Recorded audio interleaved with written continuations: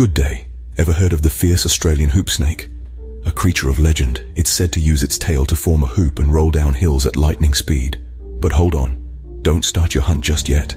Despite the countless tales, it's important to know that this snake is actually a myth. Yes, you heard right. There's no scientific evidence to support the existence of this fantastic creature. It's simply a piece of Australian folklore, a tall tale passed down through generations. Why the hoop snake? It's a symbol of the Aussie sense of humor. So next time you're in the outback, keep your eyes peeled for the real critters.